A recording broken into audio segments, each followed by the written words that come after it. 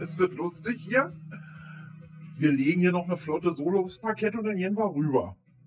Was hältst du davon, von der Idee? Ja? Einzig, wir verabschieden uns gleich. Wir machen noch ein Abschiedstänzchen. Und dann gehen wir rüber. Oh, weil ich hier hab so eine richtig süße Puppe, Heinz. Eine, die ich richtig lieb haben kann. Ja. Glaubst du nicht?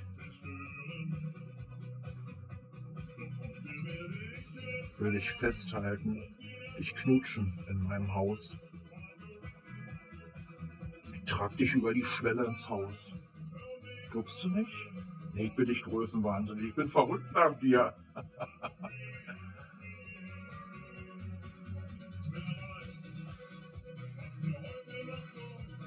Wir erleben noch was heute.